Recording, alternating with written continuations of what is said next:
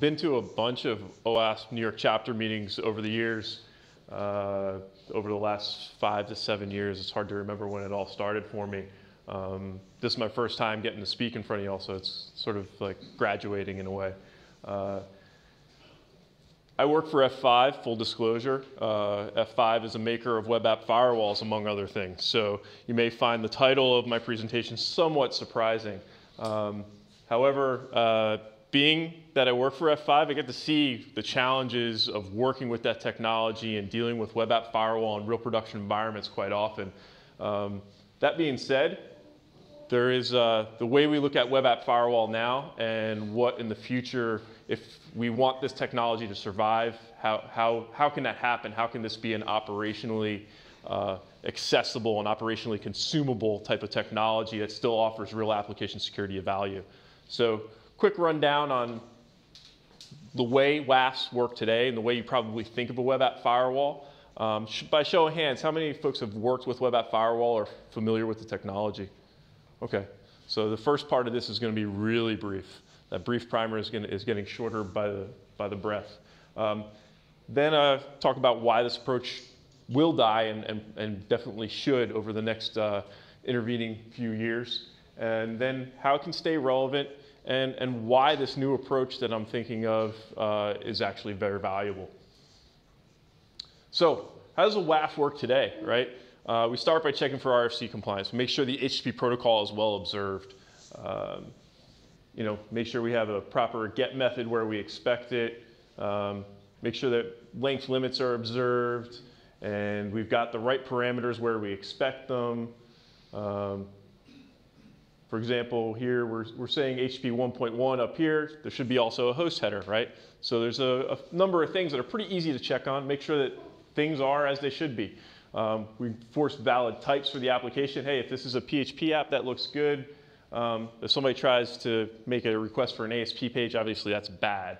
Um, pretty straightforward kind of things. Um, then we can also look for a valid list of URLs. We know that certain URLs don't exist. Um, if our application is well coded, we'll have a nice 404 pop up, but the web app firewall can uh, whitelist this as well. Um, look for a valid list of parameters, right? So parameter values are important. Uh, the web app firewall can do this, right? Uh, then we check each parameter, make sure it's the right length, the right type, uh, make sure it's a numeric, it's a string, it's alpha, uh, is our meta characters like that apostrophe allowed and so forth. Then we do that thing that we really think of when we think of web app firewall. This is sort of the last step in checking the request is we apply stack signatures, right? We look for that SQL injection, which is the first thing I had to wrap my head around as a network engineer coming into the world of application security is why would somebody do that, right? Why would somebody actually put SQL code in a username and password field? It just makes no sense to me. And then I start to realize that not everybody is uh, a good guy, right? Um, but that's where web app firewalls definitely see the most value. When I talk to uh, anybody that's working with web app firewall technology, they're, they're trying to knock out the OWASP top 10 and the SQL injection, cross-site scripting, all those things are, are pretty easily picked up by signatures. Um, so why do I think this technology is going to die, right? It sounds really good. All that sounds really good. These are things we want. Why would this technology go away? Um, who owns this thing? Is it, is it the network team? Sometimes it's a network appliance. So sometimes it's a network team responsible for buying it. Sometimes it's a security team. They own the web app firewall. And in the rarest of instances, the app dev team. And by show of hands, who, who's app dev in, in, in the audience? How many developers we have? How many security folks do we have? Like your job has security in the title somewhere. A lot of those folks. And then how many network, any network folks brave enough to come to an OWASP meeting? Just me? All right, got one in the back. Um, the challenge I see time and time again is that there's, can be, there's often very little agreement uh, with respect to who owns the web application firewall. Uh, sometimes it's one, sometimes it's the other, sometimes it's a cooperative effort. In the best of scenarios, it's a cooperative effort. And in many cases, it's one of these two teams. Very rarely the, the developers that own it, and often these, these individuals were, were just like me a, a, number of years back, trying to figure out how the application works, right, in, in general, and then figuring out the specifics of, of my application, right? Um, and so, so all these teams, they get together maybe, and then they usually they say not it. I don't want this. I don't want this problem. Right? Every time the app changes, I got to change this policy. Um, I, by the time I figure out how the app works, maybe the maybe the application's changed and my policy has to change. It's it's a it's kind of like that Sisyphus, you know, rolling the boulder up the hill and then it rolls back down on them and got to start over. Um, my kingdom for a WAF admin. The most successful organizations that I've seen firsthand who do a good job with web app firewall and get the most out of it, they've got a dedicated individual whose job is manage the web application firewall policy, nurse it, take care of it, make sure that any changes to the web application are accounted for, uh, that things don't roll into production without the web app firewall policy being uh, considered. And you know, we know that never happens. Nothing ever goes into production uh, code and then the policies suddenly break. Suddenly we have all these false positives and, and uh, users can't get to this application we work so hard to build and publish. Um, but these individuals are rare, right? Organizations that can afford to have someone dedicated to this task uh, are rare. It's a, uh, we know that there's a skill shortage, skill shortage in InfoSec. Um, we know that uh, you know, there's a skill shortage around application security in particular. And so if I'm going to, you know, if I'm spending my application security dollars, is it on this individual? It might be more likely that I'm spending it on uh, secure coding practices, better frameworks to work with. Um, and so this WAF administrator, right, he's, he's frightened, right? Like every, he's got more than one application in his environment and everyone is different. Um, they all see regular change. Uh, and environments uh, where DevOps or similar types of philosophies are engaged, whether it's Agile or Scrum, where the applications are getting a lot of regular code pushes. And, and right now, um, for organizations where the web application is, is, is the lifeline of the business, those applications are seeing a lot of change just to introduce new features. Um, ask the folks at Twitter, ask the folks at Etsy how often they're pushing new code to try to stay ahead of the curve and keep the experience as rich and as expansive as possible. Um, and those types of environments, web app firewall, it, trying to keep up with the rate of change in the environment is, is really difficult. Now you can tell me that you can uh, start to orchestrate some of that stuff with APIs and make SDN and you know software defined this and that all work for me and orchestrate changes in the application uh, with web app firewall policy code. But frankly, um, unlike other firewall technologies, be it network firewalls or uh, IPS, IDS systems, there's not a one-size-fits-all approach, right? it's that snowflake thing. The policy has to kind of mirror um, if, if that parameter lengths and parameter types um, are going to be successfully enforced, if my SQL injection signatures or cross-site scripting signatures are going to be effective and not trigger false positives, they have to have some awareness and be tuned to some level of how my individual application works. Um, so I'm, I'm, really prone to false positives uh, in, in, these environments. And, and, there's a lot of tweaking and tuning, care and feeding that has to go on. So it's, it's, a, it's a pretty tall challenge to ask someone to tailor all those types of things that we talked about a web app firewall checking for at the beginning um, with every change of the web app firewall. And so I don't think as, as we become more web centric, as, as our web apps drive more and more uh, of the business, whatever organization we're in, I think web applications are, are becoming more and more important. Um, we're looking at environments where uh, the web app code is changing rapidly, and that, what that means is that there's environments where those where it used to take 30, 60, 90 days or a year to find a vulnerability and then subsequently fix it, uh, that, that kind of model is going away. Uh, so there's less of a need to, to lean on a web app firewall in, in a very progressive environment like that, a DevOps environment, where they've operationalized a lot of code change and made sure things work they're going to they're going to say, well, the web app firewall is just patching holes that we find about, but we can patch it faster in code. So what's left, right? So all that being said, what is left for WAF? If this technology is going to stay relevant, what's left? How do, we, how do we keep this technology in line, or, or do, we just, do we just set it to the side and say it had its window? This is a technology that's aged poorly. Um, it had its time in the sun, um, and, and and really at this point, our application coding practices and our frameworks and our operational practices have all caught up to a degree that we're pushing out really secure code. The OWASP mission has been achieved, right? So in five to 10 years, you know, our mission in this organization here in OWASP, we've, we've done what we set out to do. We've got more secure code the world over on the internet. It's a safer internet. Um, now, I know that's kind of utopian, but increasingly, if we're going to stay competitive with building web applications for, for uh, internet facing environments, we're going to have to get there. So, what's left? One is, is, is really start looking at what can I do to enrich the code in flight, right?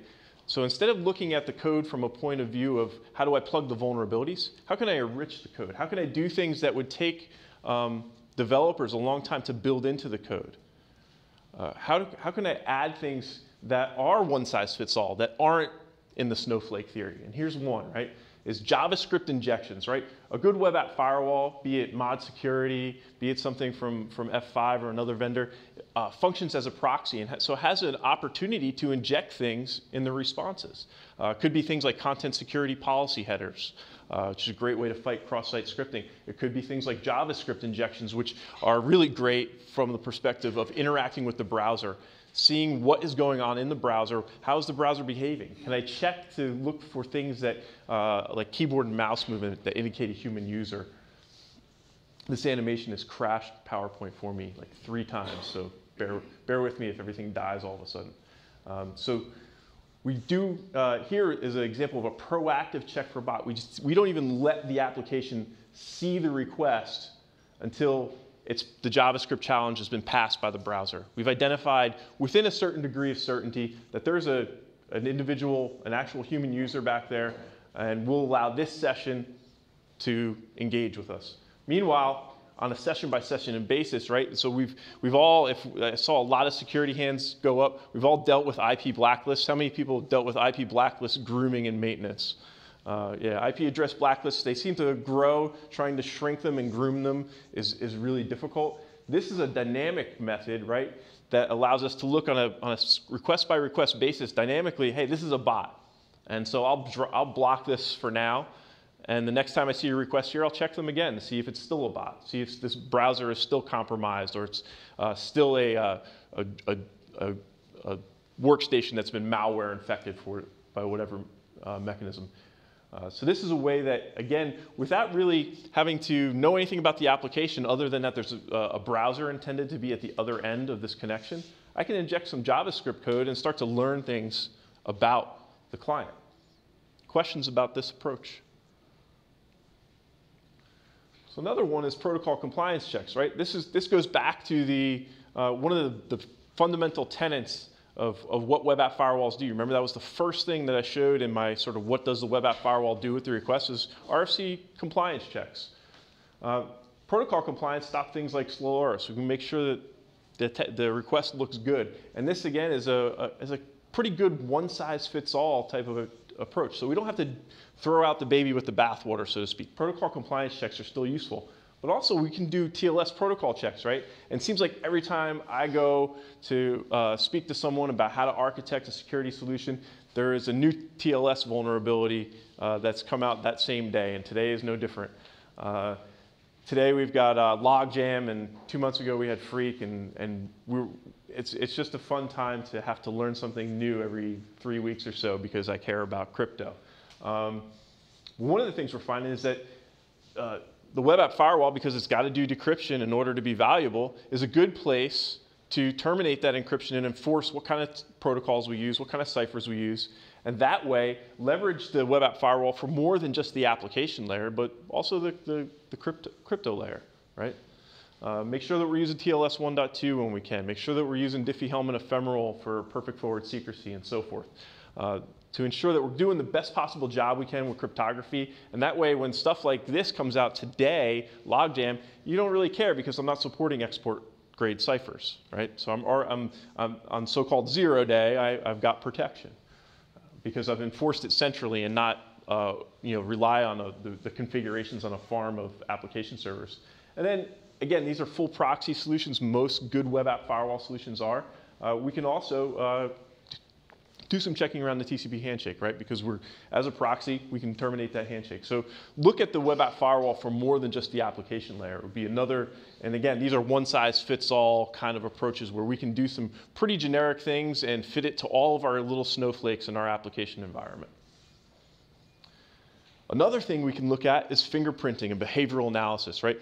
Look to see if the surfing behavior is such that there are a lot of uniform page transitions, right? I get to the home page and then the next page loads in one second and then the next page loads in the next second. And that's something that a normal human user doesn't do. A human user has to read the page, find the next link they want to look for, and every page transition is, is kind of you know, lumpy, right? It's, you know, this one I looked at it for three seconds, that one I stayed there for 30 seconds, read an article, and so on, right?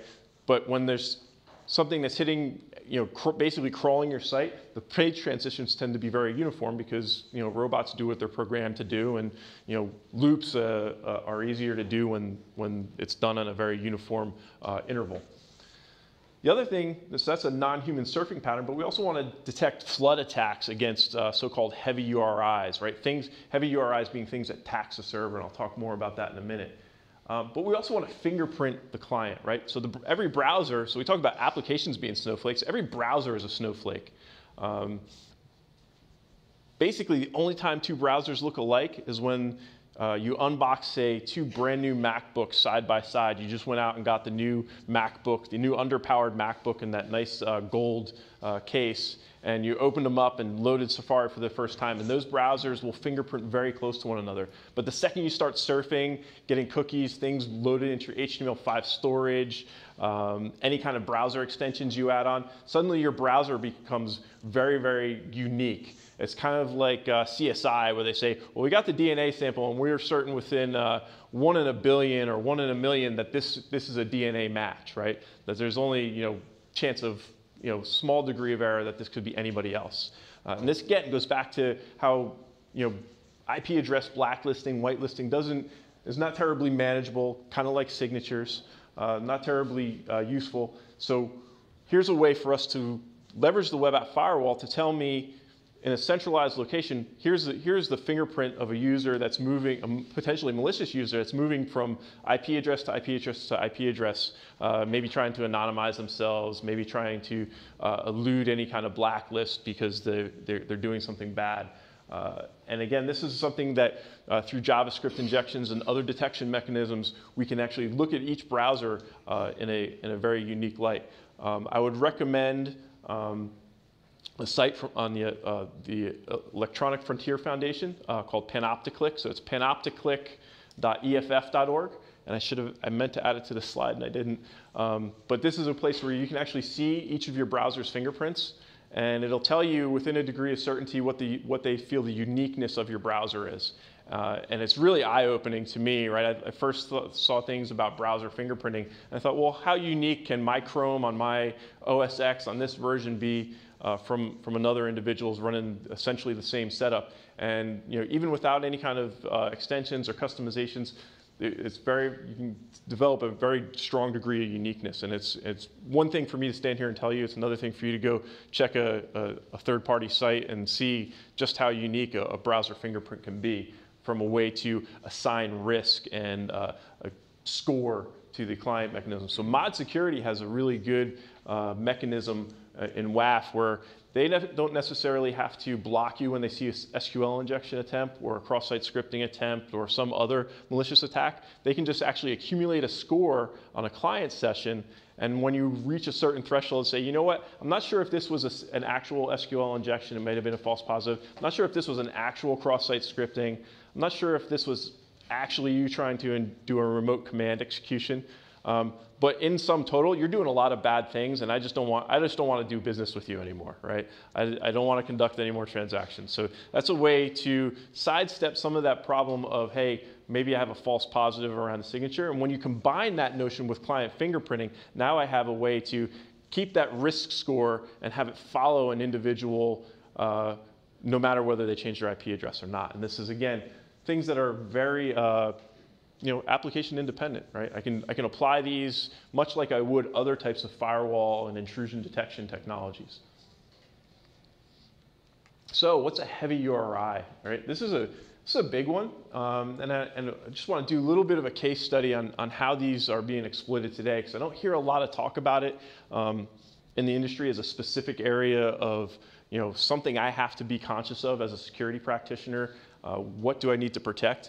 Uh, it's really, it's any URI that uh, upon a legitimate request, you know, no SQL injection, no command execution, no, no actual OWASP top 10 type of uh, uh, attack attempt, um, what it is, it, it's a legitimate request that either generates a, a, a large payload and or uh, a long response time, which indicates maybe it's taking the application a little bit longer to compute that response.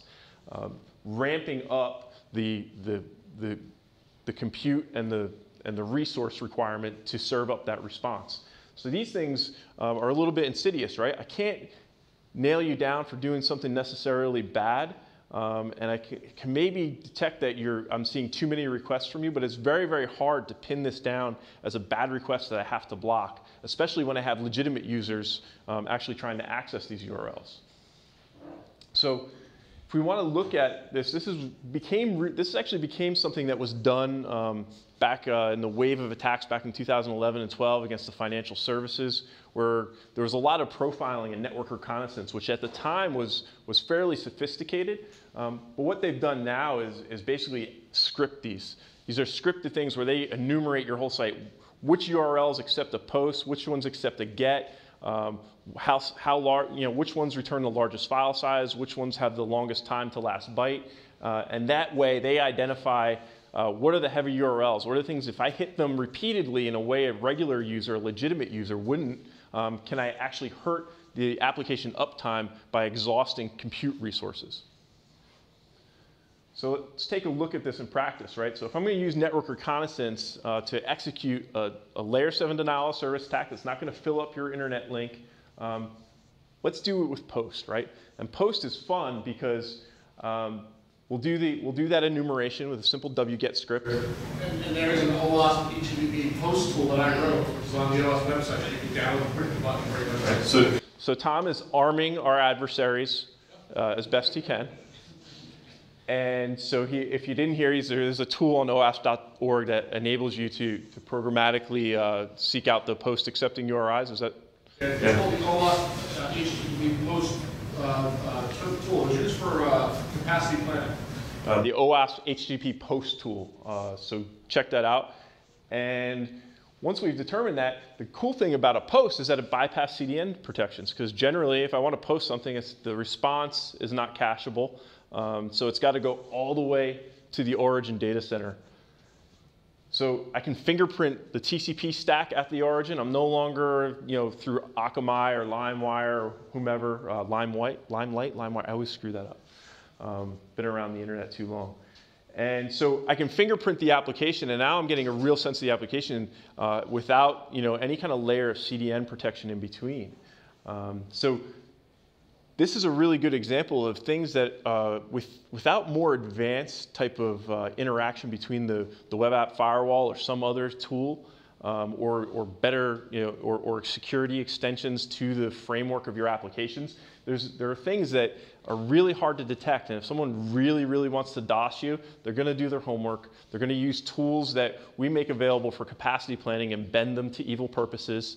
And then you know, be able to execute an attack that no amount of um, you know, conventional mechanisms are going to be able to protect. So uh, where I see the value here is we have these emerging attack types, these emerging threats that are getting harder and harder to stop by simple whitelist, blacklist type of things. And the options are either build the application stronger and build this type of intelligence into the application, or leverage some other tool that can do this in a commodity fashion for, on behalf of the application in, a, in an agnostic fashion. Tom. Just when you're, just, just when you're touching on it, you talk a little about the, the, the, recent addition to the tool, which is SSL Half Connect? I haven't, uh, I'm not versed. We'll do a one-way handshake for SSL, was the same condition. Ah, yes. So, so Tom's referring to the SSL half connect where you're not, you're not completing a SSL handshake and causing a, a race condition. Again, um, this is another way, again, as a web app firewall, is it's a centralized point for decryption. You can actually enforce uh, on some web application firewalls, you can enforce the fact that uh, a sort of a half open SSL connection, just like a half open TCP connection, can be something that's terminated after a certain timeout. Um, this is harder to configure because it's such a fine-grained setting um, on the server side, whether it's Nginx or Apache or what have you, you have to dig into all the servers and make sure that setting is set so that it doesn't time out. When you have a, something that's doing centralized decryption uh, or centralized TCP handshaking or so forth, you can develop a better big picture view of what's going on. And uh, there is a, a, a, tool, by what Tom's saying, that will let, you determine whether or not you're vulnerable uh, to a half open SSL uh, connection or, or handshake. And I don't know if I went really fast or if time just flew for me. Um, but that is my last slide, and I am open for questions. Uh, this, this presentation was actually inspired by an article I wrote for Information Security Buzz a couple months ago. Um, of course, the video and, and the, the slides from today will be made available. Uh, but if you want to read a little bit more what, what got me thinking about, hey, maybe I want to give a talk on this, I did write this article. Um, and, and, that's that's where really where the inspiration came from and and really the inspiration for the article came from all the operational challenges I've seen uh, cu- uh, customers of F5 encounter as they try to adopt web app firewall technology because they have very legitimate concerns about OWASP type top 10 type of issues. Any other questions, comments? I've lost my mind. No. Thank you.